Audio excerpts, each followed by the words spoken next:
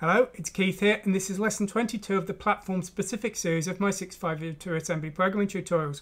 Now, we looked last week at the NES and the Famicom and how to set colours on that system. This week, we're going to look at the Super Nintendo with the Super Famicom.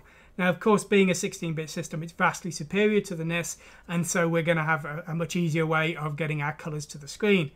If you missed last time, then you won't necessarily know, but in these tutorials we use a common format for all of the systems. We use a single nibble, 4 bits per channel, so we have an unused nibble, then a green nibble, a red nibble and a blue nibble. This was based originally on the CPC Plus, but we're going to convert that and use it on the Super Nintendo. Now the Super Nintendo actually uses more bits. The Super Nintendo uses 5 bits per channel, so you have 5 bits of blue here, 5 bits of green, splitting across the two bytes of the definition and then five bits of the red channel just here. So that's the format we're going to use and when it comes to defining the colours it's actually pretty straightforward. We have two addresses within the memory map range that we need to write to. The first one selects a colour and then the second one takes a word and that actually defines the new colour. So we just write to 2121 with a number from 0 to 255 and then 2 bytes to 2122 which are the, the new colour in the format just described. Now the Super Nintendo can have up to 256 colours on screen. The first 128 are for background tiles and the second 128 are for sprites. Okay, well let's actually see this running and just see that it works okay. So there we go, we've got our Chibiko character here, and as you'd expect with a, such an advanced palette, it really looks exactly as we would hope it would, unlike the NES version where the um, colours were slightly different, this time they're absolutely perfect. Now, when it comes to writing our palette definition to the Super Nintendo, we've got our palette definition just here in our common format, and then we send this to a function that we're going to look at today. And here it is. So we're loading in the palette definition into the zero page entry ZDE. We're then reading two bytes from that definition, storing them in ZH and ZL. And then what we do is we convert the accumulator so that it is a number that we want to change. So 0 for the background, 1 for color 1, 2 for color 2, 3 for color 3, etc. And then we run this set palette command, and it's that we're going to look at today. So here it is. Now, really, when it comes to the set palette command for the Super Nintendo, it's not too difficult. What we need to do is we need to split out each channel and then move it into the correct position. So, for example, for the green, we need to move it to just here. The red, we need to move to just here and the blue to just here. Now, of course, because we've only got four bits, but the Super Nintendo has five, there's going to be a single bit that's going to be unused in each of these cases.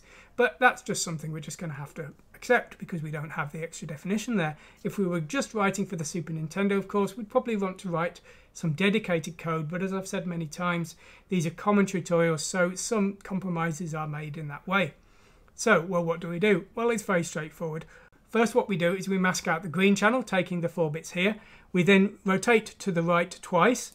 Now two of the bits will be pushed off and we're pushing those off into ZC here, which we started off by setting to zero. We're going to use that later on, you see. Now the two remaining bits are going to go into the top byte here. So what we do is we mask those off here and then we store them into ZB. We're going to need to get the blue component later on. Next we're going to do the red component. So we load that in from ZL and we rotate it to the right three times, effectively moving it into this position here. Then what we do is we OR in ZC. Now, if you remember, we shifted two bits into ZC and they will appear just here. And this means that now this byte is now complete because we've got our red part just here and our green part just here. And we store that back into ZC for later.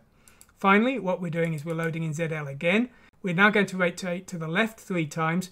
This effectively moves the blue component to just this position here. We're then going to mask that off so that we only keep those blue bits. We then OR in ZB, which if you remember previously contained the top two bits of the green definition, and we store that into ZB just here. We're now in a position where we can actually send our colours. Now we've got a function to send our colours here, and the reason for that is we're going to do it twice.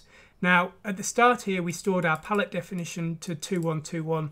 This selects the palette color we want to change. And so when we run it here, we are setting that color, let's say it was the background color, color zero, to this new color here. But we want to change the sprite colors at the same time so that the sprite colors and the background colors match because our tutorials are really only aimed at 16 colors. So a 256 color system is more than enough for our needs. So for simplicity, we're setting the sprite and the background at the same time. Now, once we've set the background color, we're then going to set the top bit to 1, effectively adding 128, storing that back to 2121. This selects the sprite color equivalent of the background color, and we just set that color again from ZC and ZB here. We've now set the color to the one we wanted. And that's really all there is to it. So there we go. So that's how we can get our color definition in, into effect. And of course, we're going to look later on at how to do sprites. So we now know how to set the sprite colors as well for later. Anyway, I hope you found this interesting. If you want to see more Super Nintendo, please like and subscribe because I've got some stuff on the sprites and the sound chip coming later on. Thanks for watching today anyway, and goodbye.